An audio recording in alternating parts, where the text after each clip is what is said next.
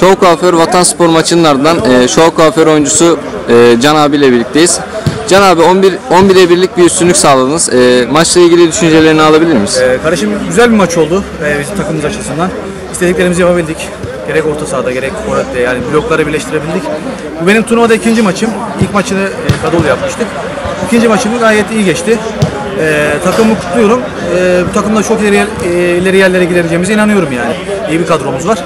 Bakacağız. Önümüzdeki maçlara bakacağız. Tebrik ediyorum. Önümüzdeki maçlarda başarılar Eyvallah abi. kardeşim sağ olasın.